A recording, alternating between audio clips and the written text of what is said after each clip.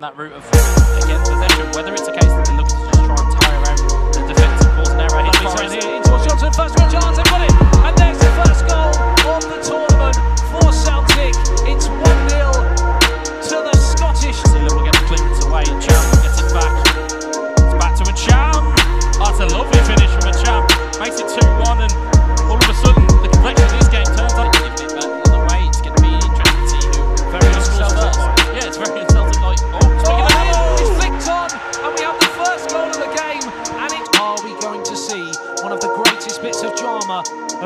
eFootball Pro League? It's in towards Edouard. This is the moment. This is the biggest chance of Celtic season so far, and they've snatched the point from the.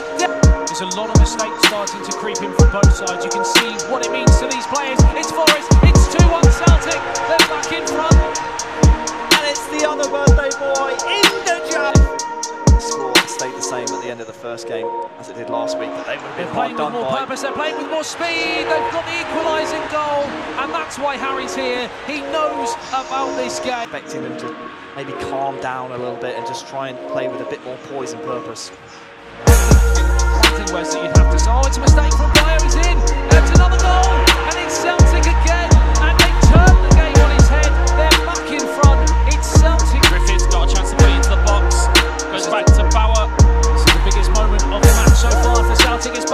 In towards the edge of the area, right foot shot, and it's an equalising goal. And you cannot say Harry because they know time is running out deep into added on time. Here's another chance here though for Griffiths. He's in. It's 2-2. It's drama again in the eFootball Pro League, and Celtic have come from behind for the second time in as many. Yeah, the thing is, in that first game, AS Monaco missed a lot of chances, and Celtic were pretty clinical as they're in again here. It's deflected up and over the goalkeeper. It's 1 1. What a start to the second half. And Back there. You can see that the Bowfister are immediately trying to press it. As you see there, Bayo. Uh, He's taking it around the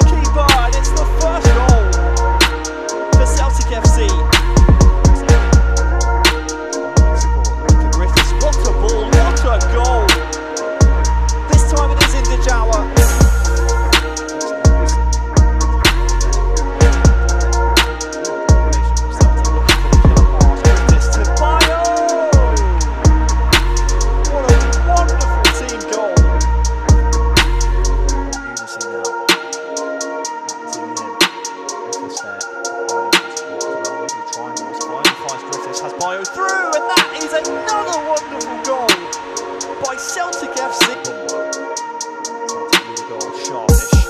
What they're going for. Edouard. Well, well, well. Three game minutes left for Celtic FC to get an equaliser. What a goal that was. They knew it needed to come soon. They fired it in. That sets us up for a very, very interesting final few moments.